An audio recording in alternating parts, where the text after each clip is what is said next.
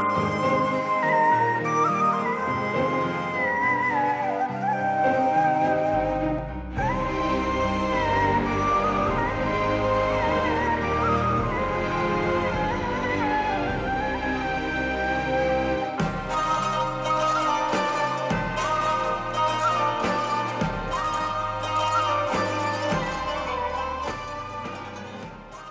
بسم الله الرحمن الرحيم. باسمك اللهم نمضي على طريقك. فثبت اللهم أقدامنا على طريقك. أهلا بكم. لنستأنف السير في الطريق إلى الله ونتحدث عن التصوف ونماذج التصوف واليوم الحديث عن سيدنا علي بن أبي طالب رضي الله عنه وكرم الله وجهه. أمير المؤمنين الخليفة الراشد الذي وصفه رسول الله صلى الله عليه وسلم باب مدينة العلم. قال أنا مدينة العلم وعلي بابها. ومن أكابر الصحابة الكرام قدوة المتقين وزينة العارفين. وولي الأتقياء وأتقى الأولياء. ابن عم رسول الله وزوج فلدة كبده فاطمة الزهراء أبو الحسنين وزينب نغوص في سيرته وأخلاقه وأحواله وكلامه ونتعلم منها. وذلك من خلال كتاب حلية الأولياء للإمام أبي نعيم الأصفهاني. واسمحوا لي في البداية أن أرحب بصاحب الفضيلة الأستاذ الدكتور محمد مهنا الأستاذ بكلية الشريعة والقانون بجامعة الأزهر. مولانا أهلا بكم. مرحبا أستاذ حسن وسهلا. سيدنا الإمام علي كرم الله وجهه ورضي الله عنه. أول ما تلقى بدأ التلقي على يد سيدنا صلى الله صلى عليه الله وسلم. ومن عرف وعلم عرف وعلم. نعم. لذلك يعني حينما نسأل إيه، ونعرف نريد أن نتعرف على سيدنا الإمام علي كيف يكون التعريف به في البداية؟ بسم الله والصلاة والسلام على سيدنا رسول الله في مبدأ كل أمر ومنتهاه. وبعد كما تفضلت سيادتك باب مدينة العلم? وإمام المتقين وقائد الغر المحجلين. هكذا يعني وصفه النبي صلى الله عليه وسلم. صلى الله عليه وسلم. المنبئ عن حقائق التوحيد كما وصفه مولانا الإمام أبو نعيم الأصفهاني. آه، من أوصاف أوصاف هو أهل لها رضي الله عنه. الذي تربى في حضن النبوة منذ صباه صحيح. رضي الله عنه وأرضاه. وله أوصاف تنبئ عن مقامات رفيعة لسيدنا علي رضي الله عنه وأرضاه. منها ما ورد عن سهل بن سعد رضي الله عنه أن رسول الله صلى الله عليه وسلم قال يوم خيبر لأعطين هذه الراية رجلا يفتح الله على يديه يحب الله ورسوله ويحبه الله ورسوله. فبدأ الناس كلها إيه تفكر يا ترى هو مين. هو أنا لأعطين الراية هذه الراية رجلا يفتح الله على يديه والنبي لا ينطق عن الهوى. يحب الله ورسوله ويحبه الله. ويحبه الله يحب ورسوله. الله ورسوله. آه. قال فبات الناس يدوكون. يعني إيه؟ يعني يدوكون يخمنوا بالبلد كده. هو يدوك يقول لك وقع الناس في دوكة أي في خوض واختلاط يا ترى هو إيه يخمنوا يعني؟ هو مين يا ترى؟ يعني تعلق الناس لكي يعرفوا من هو هذا. باتوا ليلتهم يدوكون آه قال ف سيدنا النبي منتظرين فالنبي قال إيه؟ أين علي؟ آه. أين علي؟ آه. فأرسلوا إليه. قال فأتي به. قال يعني لما جه سيدنا علي قالوا يا رسول الله يشتكي من عينه. يعني هو قال هاتوا علي رضي الله عنه. فلما جابوا سيدنا علي فلما جه فقالوا يعني بيشتكي من عينه ده فيه مرض أو رمض أو شيء من هذا القبيل في عينيه. قال فبصق رسول الله صلى الله عليه وسلم في عينيه ودعا له فبرأ. في ساعتها. برأ في الحال. وسيدنا النبي طبعا أعطاه الراية وكأن لم يكن به وجع. مجرد النبي صلى الله عليه وسلم ما فعل برئ من هذا- فوره آه, آه. كما يقولون. وأعطاه الراية. آه. ده يعني شوف حضرتك تطبيق هذا الكلام ده إيه معناه؟ يعني إحنا ما بنحكيش الحكاية أو الرواية دي بناخدها على عواهنها كده كرواية وخلاص. لا. ده ده في الطريق إلى الله هو ده مقام المراد. في علم الحقيقة. في علم الحقيقة. آه. ده مقام المراد. مقام المراد, المراد. آه.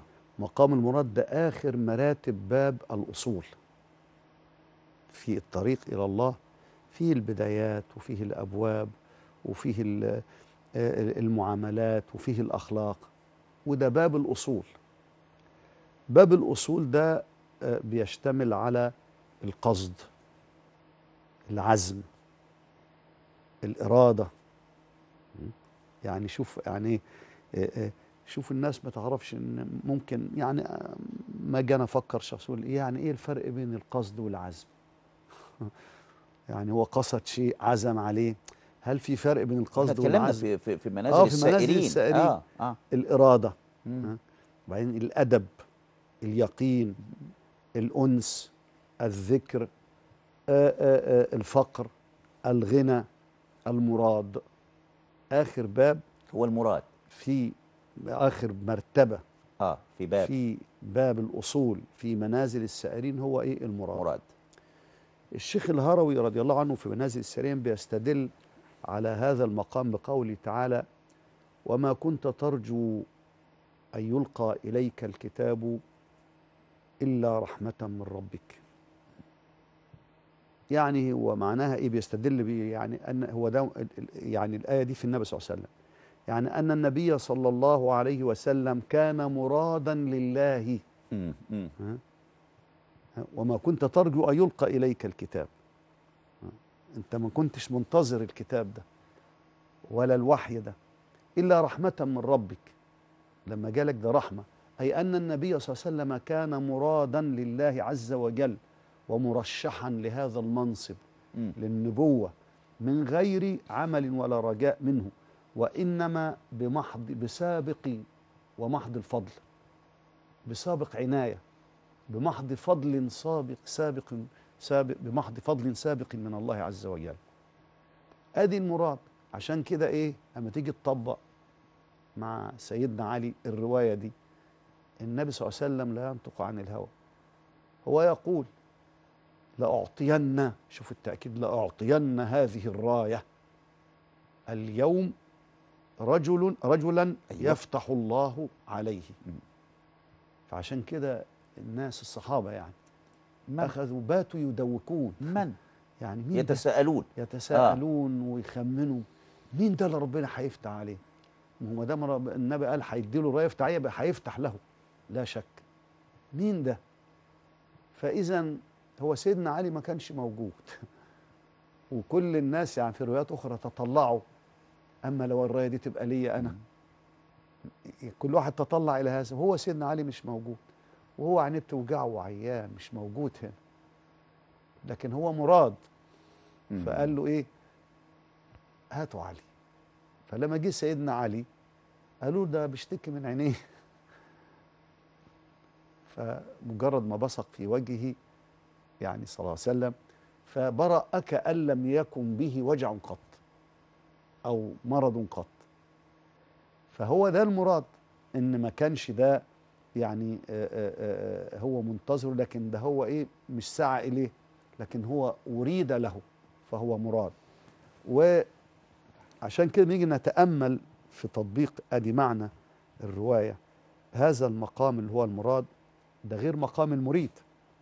عشان نشوف أدي الفرق. اللي بيسعى للشيء ده المريد لكن المراد هو الذي وفق لهذا الشيء. وما كنت ترجو أن يلقى إليك الكتاب. فزي ما قلنا كما يقول السادة منهم من يصل بالكرامة. ومنهم من يصل ومنهم بالاستقامة. من يصل بالاستقامة. يصل بالاستقامة. آه. يجتبي إليه من يشاء شاء. كرامة. أيوة. ويهدي إليه من ينيب استقامة. استقامة. هو من ينيب هنا سعى. اجتهد. آآ آآ فده مريد الثاني لكن الأول مراد. المراد تسبق أنواره أنواره اجتهاده وسعيه. أنواره بتسبق اجتهاده وجذبه وسلوكه. يعني جذبه بيسبق السلوك بتاعه. أنواره بتسبق المجاهدات بتاعته برضه زي, يعني زي ما نقول إياك. نعبد وإياك نستعين بالضبط. كده آه. زي ما قلنا إياك نعبد آه، استقامة استقامة لكن وإياك إياك نستعين. نستعين دي كرامة كرامة آه لأن هو يعني زي الحقيقة والشريعة بالضبط آه. كده. نظر إليها كحقيقة يعني مم. والمريد يعني آه، آه، بيسبق اجتهاده انواره عكسه ها؟ ولذلك سيدنا ابن عطاء الله في حكمة يقول قوم تسبق أنوارهم أذكارهم وقوم تسبق أنوارهم. مم. قوم استنارت قلوبهم فذكروا. آه. وقوم ذكروا فاستنارت قلوبهم. الثاني ده مريد سعى فاستنار قلبه لكن الأول أصله قلبه منير. استنار قلبه قوم استنارت قلوبهم قلوبهم فذكروا. ده الذكر جاء السعي جاء نتيجة إيه؟ النور اللي موجود. آه المراد واصل بمحض الاجتباء. المراد واصل واصل بمحض الاجتباء. اجتباه يجتبي اجتباه إليه ربه من ربه. يشاء آه. والاصطفاء لكن المريد مهدي بالإنابة والمجاهدة مم. والعناء. ده بذل جهد ها؟ والعناء. المراد محمول والمريد متحمل. المريد بيتكلف. ولذلك إيه؟ أعباء التكاليف. لكن التالي ترويح التعاريف؟ ما بيتكلفش ده هو أصلا في أنوار بتجذبه بتخليه ماشي إيه طاير اللي هو. بالكرامة ده. بالكرامة آه. نعم. نعم. آه يحبهم ويحبونه ده مراد. ده هو لولا أنه أحبهم ما أحبوه فبحبه أحبوا ها؟ يبقى بحبه مم. يبقى ده مراد. ها؟ لكن قل إن كنتم تحبون الله فاتبعوني يحببكم فاتبعوني. الله. الاتباع هنا آه. مجاهدة. يبقى ده مريد. الأول مراد وده مريد. ها؟ ولسوف يعطيك ربك فترضى. قول لي بس أنت إيه اللي مزعلك؟ مم. ولسوف إحنا كنا نسمعها بالبساطة دي آه. من شيخنا. قول لي بس أنت عاوز إيه؟ ولسوف يعطيك ربك فترضى. أنا هديك لحد ما ترضى. أنت قول لي بس عاوز إيه؟ السيدة عائشة كانت تقول لسيدنا النبي إني أرى أن الله يسارع في هواك يا. رسول الله. في حين سيدنا موسى بيقول له وما أعجلك عن قوم؟ قال وعجلت إليك ربي لترضى. ده أنا اللي عجلت. ها؟ يعني هو عجل. فقال له أنت إيه اللي جاء قال وعجلت إليك إليك ربي لترضى. هم أولئك على اثري وعجلت إليك ربي لترضى. يبقى ده مريد. يبقى الأول مراد والثاني مريد. ألم نشرح لك صدرك؟ ده مراد, مراد. ها؟ رب اشرح لي صدري. ويسر سيدنا لي موسى أمري. مريد. وأحلل عقدة آه. من لساني. يعني آه. إيه؟ فده ال ال يعني ال ال المعنى الحقيقي للرواية عشان نفهم آه. إن الروايات دي لها مقامات. دي بتعبر عن مقامات للسادة. لما يجي يقول يعني حاجة ما ده, ده مقام معين يعني تفرد به. سيدنا علي رضي الله عنه وأرضاه. يعني دلوقتي برضو عايز يعني كل ما آه، عرفناه عن سيدنا علي آه، آه، ونتعرف على هذه الأحوال. لما سيدنا النبي يقول أنا مدينة العلم وعلي بابها. نعم. كيف استحق سيدنا علي هذه المكانة هذا التشريف ومن ثم التكليف ما بين تشريف وتكليف؟ أصبح الإمام علي باب مدينة العلم نعم هو طبعا مقام العلم. هو هنأتي إليه وهنشوف أن سيدنا علي أيضا كان متحققا بالعلم وهناك روايات أخرى وردت في حق سيدنا علي فيما يتعلق بباب أو بمرتبة العلم ومرتبة العلم أيضا ومرتبة الحكمة لأن. هنلاقي أحاديث وروايات عن سيدنا علي وردت في حق سيدنا علي أنه أيضا كان يعني متصفا بالحكمة آه. أعطاه الله الحكمة. نعم آه. ولكن قبل أن نتكلم والعلم والحكمة كل هذه من أبواب تسمى الأودية هنتكلم آه. عنها إن شاء الله. لكن قبل ذلك أيضا ما الذي يسبق هذا؟ آه الإيه إن سيدنا النبي صلى الله عليه وسلم وصف سيدنا علي بالسيادة مم. مم. عن ابن أبي ليلى عن الحسن بن علي رضي الله عنه سيدنا الحسن سيدنا علي بن أبي طالب. قال قال رسول الله صلى الله عليه وسلم ادعوا لي ادعوا لي سيد العرب. فقامت السيدة عائشة قالت آه، ألست سيد العرب؟ بتقول للنبي صلى الله عليه وسلم. هو بيقول ادعوا لي سيد العرب. بعدين فقالت السيدة عائشة ألست سيد العرب؟ مش أنت يا رسول الله سيد العرب. قال أنا سيد ولد آدم وعلي سيد العرب. أنا سيد ولد آدم. ولد آدم. سيد ولد آدم. وعلي, وعلي سيد العرب سيد العرب. آه. هنا آه، آه، آه، آه، لما جه يعني في هذه الرواية مم. فلما جاء أرسل إلى الأنصار فأتوه. فأتوه يعني أتوا مم. النبي صلى الله عليه وسلم. صحيح. لما بعد جاب سيدنا علي وبعد جاب الأنصار فجم. فقال لهم يا معشر الأنصار ألا أدلكم على ما إن تمسكتم به لن تضلوا بعدي أبدا؟ بعده أبدا؟ أيوة. قالوا بلى يا رسول الله. قال هذا علي فأحبوه بحبي وأكرموه بكرامتي. فإن جبريل أمرني بالذي قلت لكم من الله عز وجل. ده أمر من الله. وقول لهم كده. فإن جبريل أمرني, أمرني بالذي قلته بالذي لكم. قلت له لكم. آه. من الله عز وجل. يعني قلت لكم النبي اللي بيقول لهم كده. آه مم. ده بأمر من الله تعالى. الله. يعني تس يعني تسويد سيدنا علي. ده عن السيادة يعني. آه. تسويد ده. أمر. آه. آه آه اتباعه. ومحبته وكرمه وتتمسكوا به لن تضل لن تضلوا بعده ابدا. ده بوحي? أدي المعنى. هذا الوصف. هذا الوصف. وهذا الاتباع ده يدل على مقام سيدنا علي. لأن هنا لما نيجي نتكلم في لفظ السيادة هنا? لها معاني كثيرة. هيعبر بقى عن معاني كثيرة. وبقول له إيه؟ يعني سيد العرب السيادة آه، تعني معاني كثيرة منها الشريف والفاضل. طبعا الربوبية ده الرب والملك ده خاص بالله تعالى لكن فيها معنى الشرف الشريف السيد هو الشريف هو الفاضل هو الحكيم مم. هو آه، آه، المتحمل أذى قومه. السيد عارف ليه؟ بيتحمل أذى قومه. هو اللي بيشيل عن الناس بيشيل عن قومه الأذى. مم. ولذلك قلنا كثير من الآيات بيكون موجه فيها الخطاب لنا ولكن اللي بيشيل عننا سيدنا النبي صلى الله عليه وسلم. صلى الله عليه وسلم. اللي بيشيل عن صلى هذا صلى الله عليه وسلم.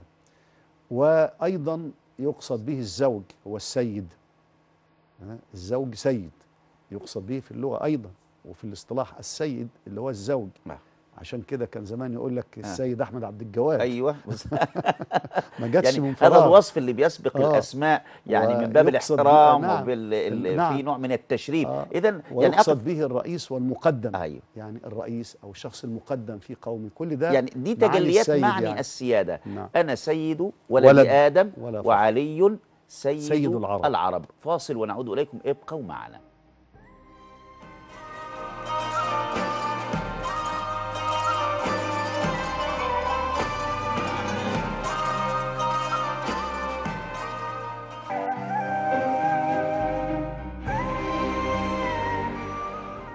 أهلا بحضراتكم وما أعذب الحديث وما أجمل الكلام عن سيدنا الإمام علي. يعني كيف تجلت هذه المعاني من من معنى كلمة السيادة نعم. في الإمام علي؟ آه طبعا كما قلنا إن لفظ السيادة يعني كل هذه الألفاظ. الهروي يقول السيد وسيدنا الإمام الهروي صاحب منازل السائرين السيد هو الذي يفوق قوم الذي يفوق قومه. في الخير. بيتجاوز بيفوق القوم بتاعه في الإيه؟ في الخير. وقال غيره هو الذي يفزع إليه في الشدائد والنوائب. يهرع إليه. الناس آه، تجري, عليه. في آه، النوائب آه. والشدائد. فيقوم بأمرهم ويتحمل عنهم. الله ده اللي الله. هو السيد يعني. عشان كده قالوا خادم القوم سيدهم. سيدهم. آه آه، وبيدفع عنهم المكاره وكذا والبلايا إلى آخره. ولذلك في قوله تعالى وسيدا وحصورا عن سيدنا إيه؟ آه، آه، آه، يحيى. قال إدريس. قال أبو العالية والربيع وسعيد بن جبير قال هو الحكيم. سيدا وحصورا. السيد هنا في قال يعني هو الحكيم. ها؟ وقال قتادة هو سيد في العلم. وسيدا أي سيدا في العلم والعبادة. لما نقول سادتنا في العلم يعني اللي هم آه. علماؤنا هم الأكابر أيوة آه. يعني كبير سيد في العلم والعبادة سيدا في العلم والعبادة وسعيد بن المسيب بيقول في آه، سيدا وان هو الفقيه العالم آه عشان. كده بنقول سيدنا دايما نقول في, سيدنا في أيوة. الأدبيات العلمية في أيوة، أزهرنا الله الشريف. سيدنا سيدنا آه، جاي منين لأن. سيد في ده العلم يعني العلم الفقيه العالم وفي عكرمة قال هو الذي لا يغلبه الغضب. السيد ده هو اللي لا يغلبه الغضب. آه. يبقى يعني دايما ماسك نفسه الغضب ما يغلبوش. أدي السيد. لا تغضب ولك الجنة. آه الحلم بيكون إيه؟ هو الغالب عليه وليس الغضب. مم. وقيل طبعا الحديث ورد يعني هو لما بقول إيه؟ يعني آه، آه، النبي صلى الله عليه وسلم بيقول لل- لل- للأنصار إيه؟ يا معشر الأنصار ألا أدلكم على ما إن تمسكتم به؟ لن تضلوا بعده ابدا. لا، وأشار. ها؟ مم. علي بن أبي طالب. الله. فهنا لأن ده يعني في إطار حديث آخر أو أحاديث أخرى بعضها ورد عن النبي صلى الله عليه وسلم يعني ما إن تمسكتم به لن تضلوا ابدا كتاب بعد الله أبدا كتاب الله وعترتي. وعترتي. آه. ورواية كتاب ثانية الله كتاب وسنتي. الله وسنتي. أو كما قال. آه. فاذا كتاب الله وسنتي. كتاب الله وعترتي. علي ابن أبي طالب. يعني الأنصار بيقولوا لهم تمسكوا بي لو تمسكتم بي لن تضلوا بعده. طب آه، ده غير ما وصاهم بقى بحبه وكذا.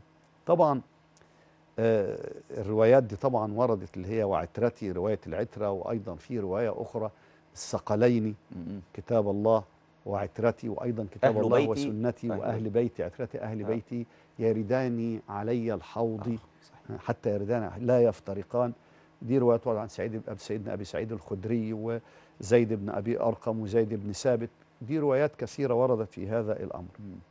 وحديث الثقلين كتاب الله وعترتي وتارة بلفظ كتاب الله وسنتي كما قلنا. وده بيدل على أن إجماع العترة حجة كتاب الله وعترتي يعني إجماع عترة نبي حجة. لكن سيد العترة هو سيدنا النبي صلى الله عليه وسلم. آه ويعني كتاب إجماع الأمة في كتاب الله بكتاب الله وسنة نبيه وعترة النبي صلى الله عليه وسلم. ها؟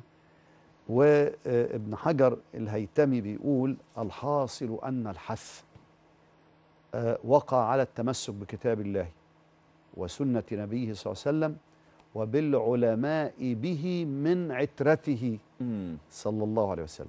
وبالعلماء به؟ العاملين به آه. من عترته. يعني يعتبر من يعني عترة الإجماع إيه؟ يعني الحث وقع يعني النبي بيحثنا على إيه؟ على التمسك بالكتاب والسنة والعلماء بالكتاب بهما بالكتاب والسنة العاملين من بالكتاب والسنة. من عترة النبي صلى الله عليه وسلم آه، وده يدل على مقام أهل بيت النبي ومقام سيدنا علي في هذا الأمر. الملا علي القاري. طب ممكن. فضلتك آه، تسمح لنا مع الأستاذة فاطمة والأستاذة آه، أميمة. أستاذة فاطمة أهلا بيكي السلام عليكم يا أستاذ حسن وعليكم السلام ورحمة الله وبركاته. اتفضلي يا فندم. ازي حضرتك يا فندم؟ ازي حضرتك. أهلا بيكي مولانا مع حضرتك اتفضلي. بيك. ازي صحتك يا بيه والنبي أنا كنت عايزه فضيلة الشيخ اساله سؤال لو سمحت. إيه السؤال؟ السؤال إن المولى عز وجل لما كان في سوره طه أيوه. فالسؤال ده كان موجه لسيدنا محمد بيقول له يا طه زي ما كان بيقول له يا ايها المزمل يا ايها المدثر فهو السؤال ده طه هو لسيدنا محمد ولا هو ده كلام ربنا سبحانه وتعالى؟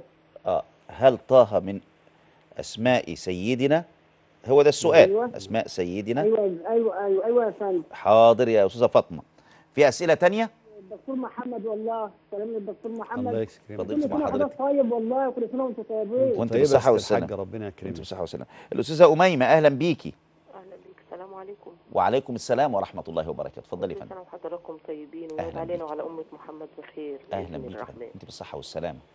أنا عايزة أسأل حاجة بس. إيه السؤال؟ إحنا إحنا تسعة إخوات. تسعة تسعة إخوات. إخوات أيوة. والتسع إخوات منهم واحد يعني ربنا يهديه. يا رب. وطبعا مسك أختي شتمها وبنته شتمتها ومراته شتمتها وأختي دي لا حول لها ولا قوة مريضة. آه شفاها الله وعافاها. فقال لها حاجات مش كويسة ما يصحش إنها تتقال. فهو دلوقتي كان بيكلمني أنا فأنا قطعت معاه الكلام بصراحة. أما شتم أختي وبهدلها في الشارع. فمش عايز يواجه أي حد إن نقول مين اللي غلطان ومين اللي مش غلطان. فأنا بس مش بعي... أنا خايفة من حساب الله. وإلا ستر الأرحام دي قطعها مش كويس. أيوة. فربنا مش هيكون راضي عليا. فأنا مش عايزة كده.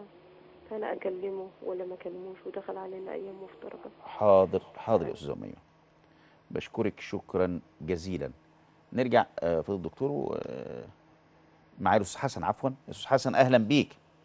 السلام عليكم. وعليكم السلام ورحمة الله وبركاته. اولا آه، كل سنة وأنتم طيبين بشعبان وربنا يبلغنا رمضان غير والسلامة. فاقدين ولا مفقودين. بحق جاه سيدنا رسول الله صلى الله عليه وسلم. آمين يا رب العالمين اتفضل.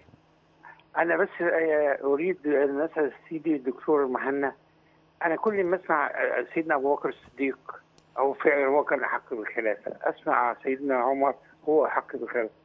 سيدنا عثمان هو احق بالخلافة. دلوقتي سمعت حديث سيدنا علي عن علي سيدنا اللي هو سيد العرب كان هو بال- فدي بيوقع الإنسان في فتنة.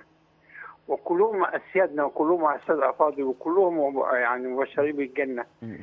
فمش عارف يعني كثرة الأحاديث في فضل كل صحابي وفضل الخلفاء الراشدين بيوقع الناس؟ طب وليه حصل الخلاف؟ آه يعني حاضر. نعم. يعني يعني الأحاديث التي آه، نعم، بتستعرض واضح، آه،. آه، فضائل آه، نعم. الصحابة. نعم. آه، الأستاذ محمد.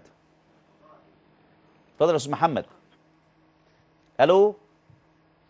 طيب سنعود بعد ذلك لأي نعم. اتصالات هاتفية. أهلا بكل اتصالاتكم الهاتفيه نعم. تفضل مولانا.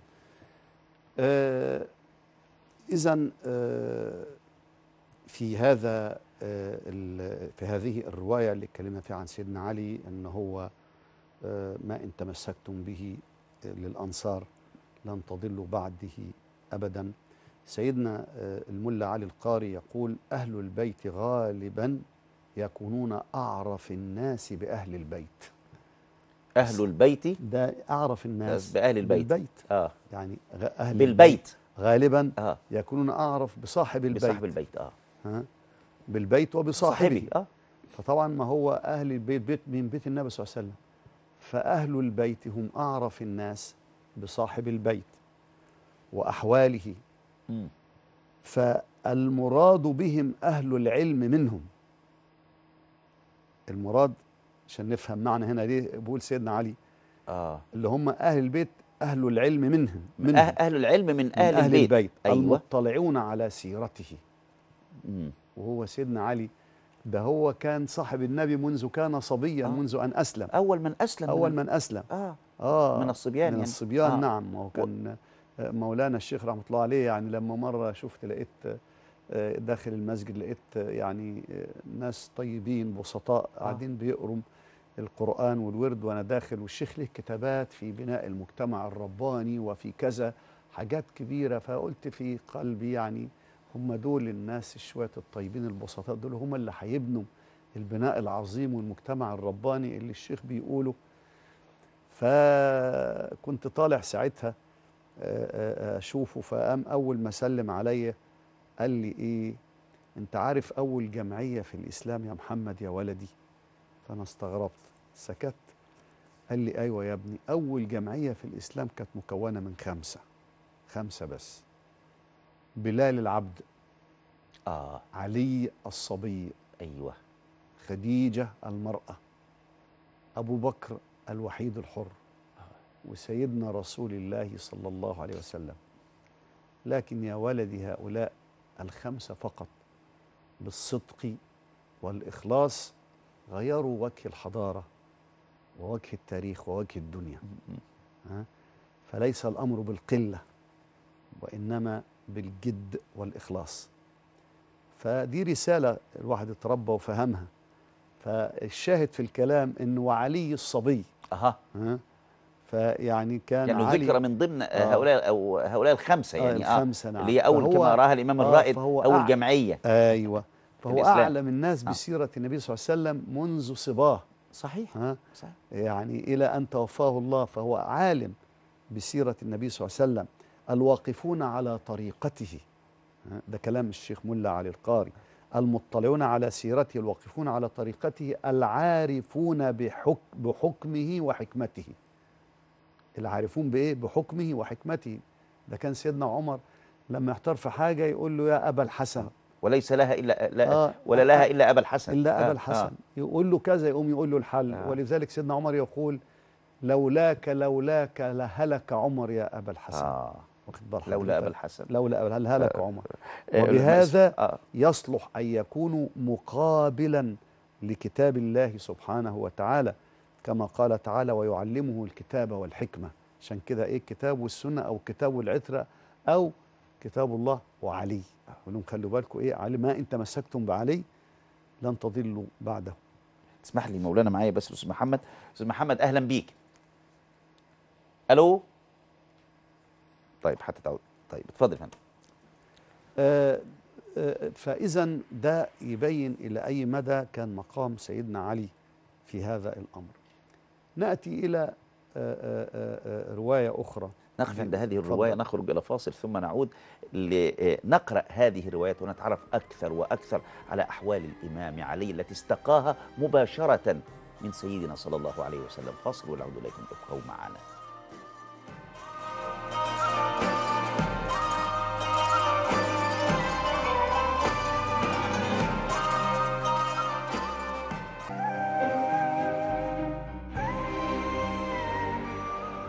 أهلا بحضراتكم. مولانا اسمح لي بعد أن أجدد ترحيب بفضيلتك أني آه، معايا اتصال تليفوني أستقبل الاتصال التليفوني آه، الأستاذ عبير. يا أستاذ عبير أهلا بيكي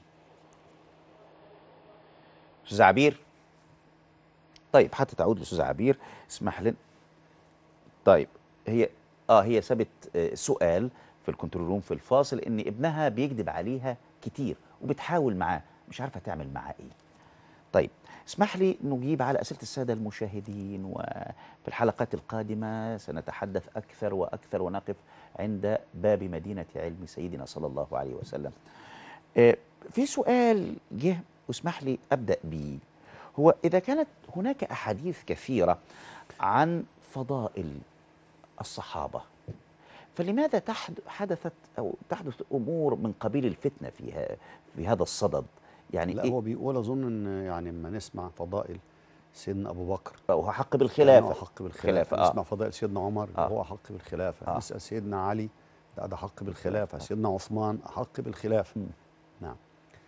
وفي الحقيقة لا يثور آه يعني آه لا أو لا تثور هذه الهواجس امم إلا في قلب متعصب.